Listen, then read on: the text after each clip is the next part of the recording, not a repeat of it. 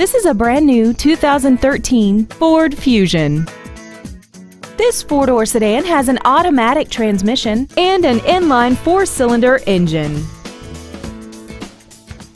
All of the following features are included.